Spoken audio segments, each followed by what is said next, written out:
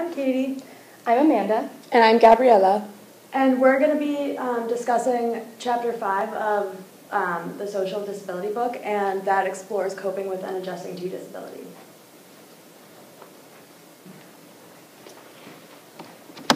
So first, we kind of wanted to give um, an overview of this chapter, um, and we laid it out in kind of a continuum of coping. And chapter five asks the question, why do some individuals seem to respond to negative events better than others do, and how do some um, persons with disabilities find meaning and positive byproducts in their conditions?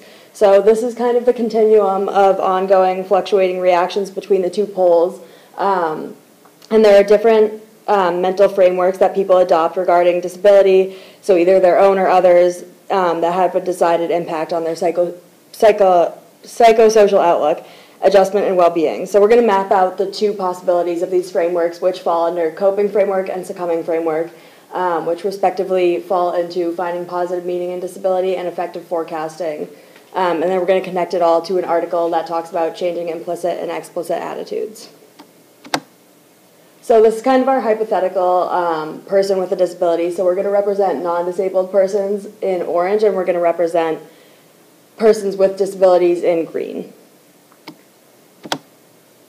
So this is talking about the coping, the differences between the coping and succumbing frameworks. So the coping framework um, focuses more on the positive side of disabilities. Um, it focuses on the retained values and potential assets of disabilities. It is the more active and independent mindset. Um, it works to alter or eliminate physical and social barriers.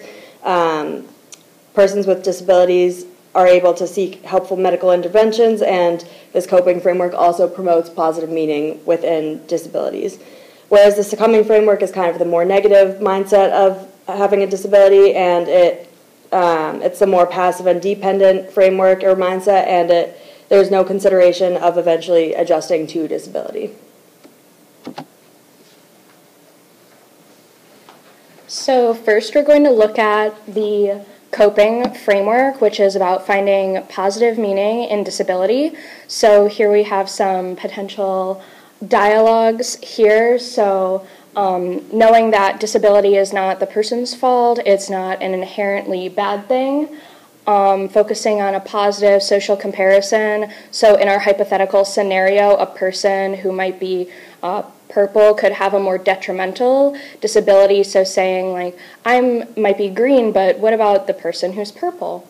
Um, using reframing tactics, like I can still do everything that I did before, just in a different way um, having a new beginning mindset. So, by being green, I've now found a job where I can excel in a different way. Uh, Self appreciation, that this makes me unique, it makes me special. Um, and utilizing the social support network that could be presented. Oh. Um, yes. Um, so, we have our green lady here, and she says, Being green is not a reflection of my personal character. There are lots of opportunities ahead of me, and I have a great support system to help me get there. And behind our green lady, there's an orange lady and another green lady who are her support network, and they're saying, We are here to support you, and because of this coping mindset and positive framework, our newly green lady is able to utilize her support system and have a good outlook for her life. Next, we're going to look at the pathway for the succumbing framework, which uh, often incorporates affective forecasting, which is when someone will predict what might happen to them several years in the future and they predict their emotional response to it. So, this can often lead to increased stress. They might overestimate the magnitude of how they're feeling, and this leads to a passive acceptance of their situation and overall just decreases their outlook on life. So, on the succumbing pathway, we have our green lady again, but this time she's saying, being green has changed my life for the worse. I can't imagine this getting any better.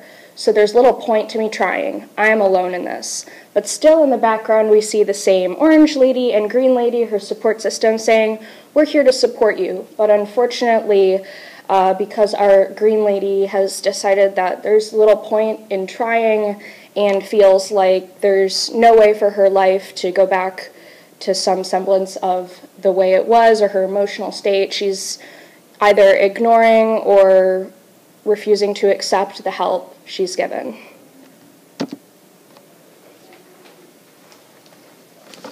Um, so Elder Wright and Ulyssini looked at a um, research literature into this phenomenon of coping framework and succumbing framework and how their perceptions from social perceivers um, change. So they looked at an in- internet population um, in the US that um, analyzed um, coping framework and the succumbing framework. And what happened was um, those who they uh, filmed a fundraiser um, and had participants watch this fundraiser. And um, there was a voiceover of either a person with disability succumbing to their condition or effectively coping with it. And uh, they measured attitudes of the social perceivers following this film fundraising appeal. And what happened was those who watched the succumbing framework um, developed a less favorable appeal to people with disability, whereas those who watched the uh, coping framework actually predicted more positive social exchanges.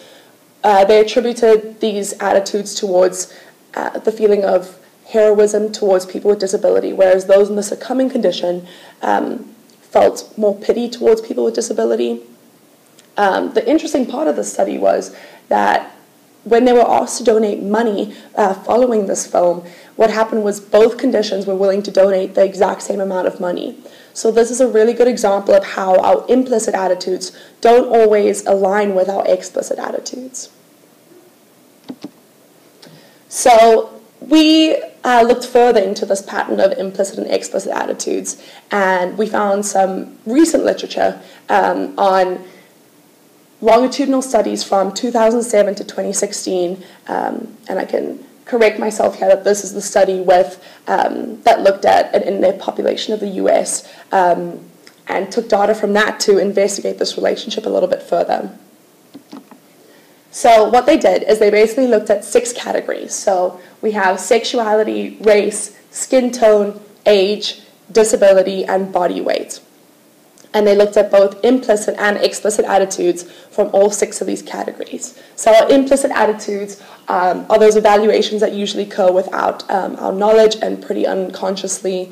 Um, they measured this through the IAT, so implicit association attitude test, and our explicit attitudes, which are attitudes that um, are deliberately thought about and can actually pretty readily be reported. Those were measured through um, explicit preferences, so a seven point uh, Likert scale that looked at from negative three to three, where three is um, favor for our uh, bias towards our favorable group, where negative three is biased towards our unfavorable group.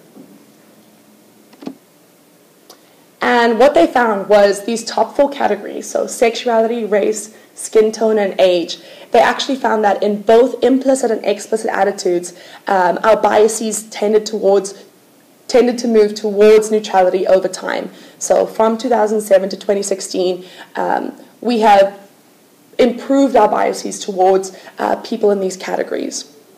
The interesting part comes with disability and body weight.